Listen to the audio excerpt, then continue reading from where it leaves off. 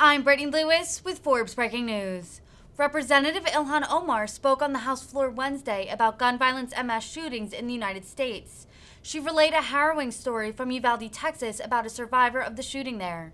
The Minnesota Democrat listed other examples of shootings over the past few years. She pointed to other Western countries that passed gun control legislation after mass shootings and have seen very few attacks since. Some have argued those measures are not feasible in the U.S. due to the uniqueness of the Second Amendment. Take a listen to her remarks here. Recognizes the gentlewoman from Minnesota, Ms. Omar, for five minutes.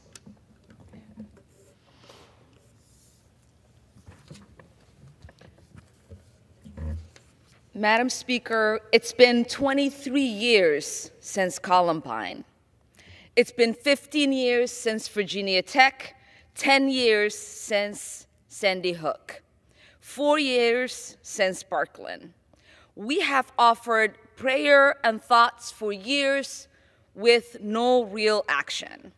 It's been 15 days since the school shooting in Uvalde, Texas, where 19 children were massacred. One of the students, a 10 year old girl, survived because she covered herself in the blood of her dead classmate. We have trained kids to hide under their tables. We have trained teachers to barricade their doors. We have trained schools to lock down their cam campuses.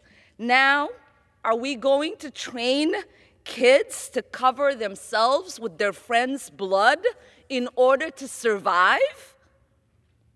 When are we going to understand the common denominator here is not just criminals, but making it easy for criminals to access deadly weapons?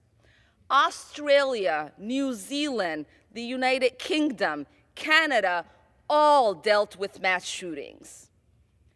But there was national outcry, and they put in place restrictions to stop mass carnage from happening again.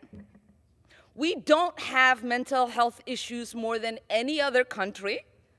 What we do have here is politicians who lack the moral courage to stand up to the NRA we have a society that is not willing to stand up to protect its citizens, especially its most vulnerable, which is our beautiful children. We have to be better than that. We also must remember, Madam Speaker, it's not just mass shootings. It's white supremacists in Buffalo who massacre elders it's gangs who carnage our neighborhoods, who allow for a three year old in my district to get mowed down by gunfire. The problem is guns. The problem is our colleagues on the other side of the aisle, and we have to have the courage to stand up to them and to stand up for our country.